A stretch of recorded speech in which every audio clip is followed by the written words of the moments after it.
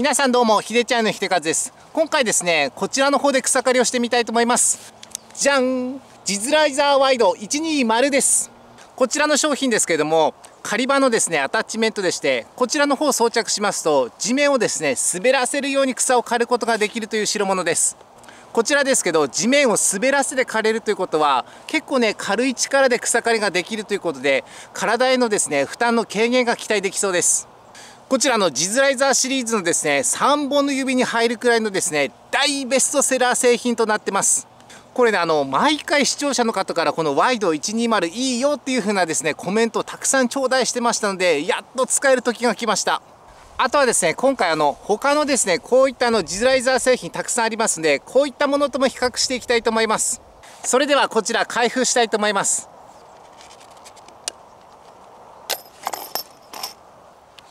はい開封してみました。でちなみにこちらベーシックのジズライザーですけども大きさ全く違いますね。こちらの方がやっぱり直径が大きいです。あとはですね厚みの方もこちらのワイドの方がですね厚いです。こちらの通常のジズライザーの方が2センチということでこちらのワイドが3センチとなってます。これだけねちょっとねもうベーシックなものと違うものとなってます。あのこの厚みがあるということは石やその地面に当たる心配が少なくなるということはこういったですねやっぱりそのチップソンの保護にもつながると思います。つまりチップソンが長持ちするということですね。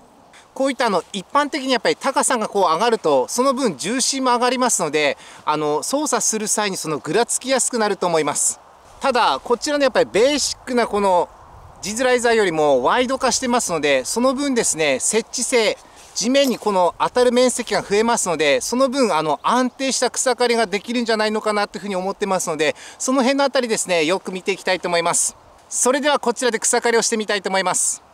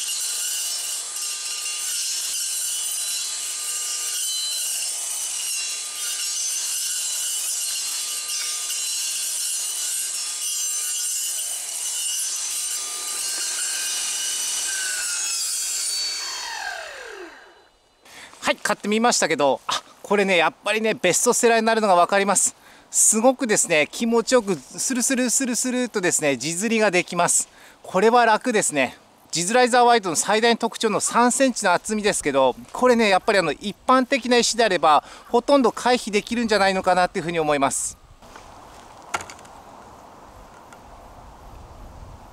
これはねあのメーカーの歌ってる通りでやっぱりチップソンに石だとかそういう地面にも当たりにくくなることで摩耗が防げるのでやっぱり結局はチップソンが長持ちするんじゃないのかなっていうふうに思うのでこれはねかなりお勧めしたいと思います。間違いなくですけども草刈りの初心者であったり初級者の方にはこれね本当にいいと思います。もちろんあのベテランの方でも狩り場をちょっとやっぱり守りたいなっていう方にはこれをねやっぱりおすすめです。やっぱりねヒットしますよねこれは。ただあのすごく気になったのがあのぴょこぴょこぴょこぴょこ跳ねるんですよ。これはねちょっとねマイナスですね。いやなんかねあの途中でちょっとストレスも感じるぐらいぴょこぴょこぴょこぴょこ跳ねたんですけども実はこれも改善できました。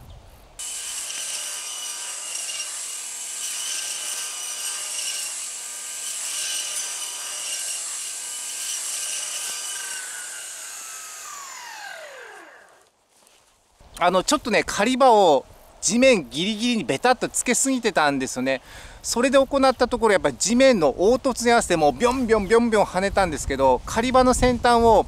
若干ですね上に上げて何ていうんですかね地面ともうスレスレっていうぐらいのところにしてからはだいぶですね軽減しました。それでも若干ねぴょこぴょこ跳ねるんですよ。その辺の辺りがねやっぱりちょっと気になります。あとはですね一つだけわからないんですけどメーカーの方ではあの高さがあると草の巻きつきを防止できるっていうふうにあの歌っているんですけどもなんでですね高さがあると草の巻きつきが防止できるかっていうのがねちょっと理解できなかったですのでもし分かる方がいましたらコメントお待ちしております。あとはですねやっぱりねジズライザーシリーズ高さが出れば出るほどなんですけどこういったようにですね草が詰まりやすくなりますね。これ硬くなるとやっぱり取りにくくなりますのでこれはねやっぱりちょっとデメリットですね。あのぴょこぴょこ跳ねる対策をこの3枚刃でちょっと解消してみたいと思います。実験ですけどもうまくいけばぴょこぴょこ跳ねないんじゃないのかなというふうに思います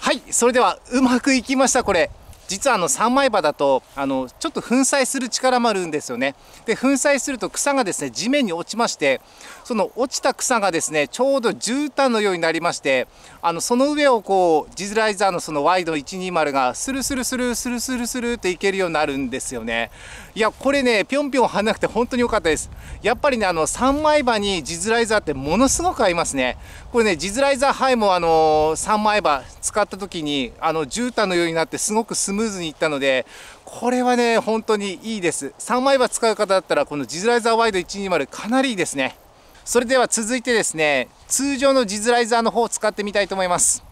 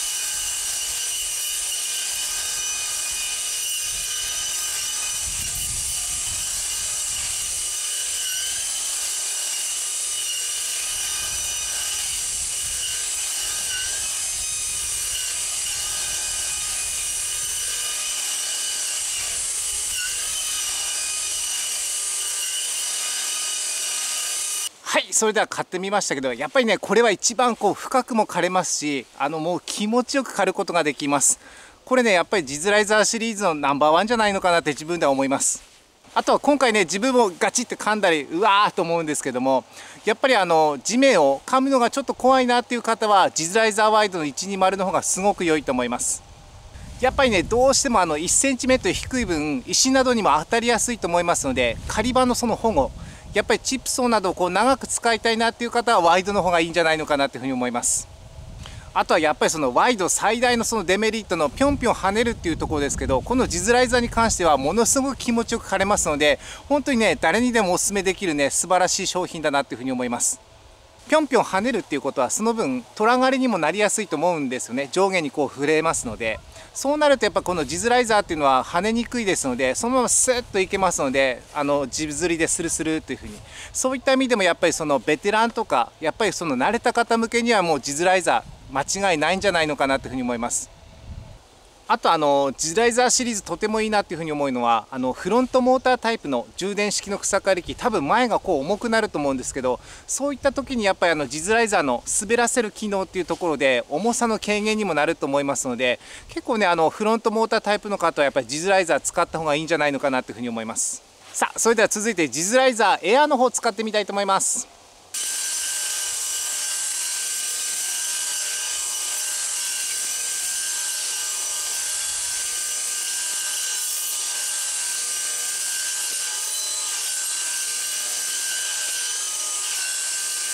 こちらのジズライザーエアですけども安定版としてじゃなくてナイロンコードも使えます。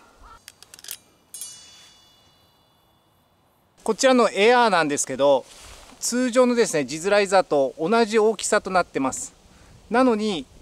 ちょっとね高さが高いんですよ若干。こちらの方がですねこちらが2センチなんですけどこちらが2.4センチなんですけどまあ4ミリ高いんですね。これねあの高さが出る分やっぱりどうしても重心が上がるのであのぴょこぴょこ跳ねるっていうイメージっていうんですかねというよりも少しねあの引っかかるっていうイメージがあるんですよこちらの場合は。やっぱりあのワイドでもなくて通常のそのジズライザーよりも若干高さが上がったっていうことなんでコツンってこう当たるっていうイメージだと思います。もちろんねあの地釣りでこう枯れるっていうことに関しては全く変わりありません。こちらの製品をこう安定版としてみたりナイロンコードとしてみるとそんなにねこう飛び抜けた性能はありませんのでやっぱりあの草刈り機1台で多用途でこうやりたいっていう方まあおそらくですけどその自宅周辺の草刈りであったりその小さな面積を刈るっていう方にはもうこれね断然おすすめだと思います。すごくねコストパフォーマンス逆にいいんじゃないのかなというふうに思います。はい続いてあのジズライザーハイの方使ってみたいと思います。こちらの方あの高さがですね5センチこんなに大きいんですよ。プラス直径が15センチということでジズライザーワイド120よりもさらに大きくなってます。これどうなんでしょうね？使ってみたいと思います。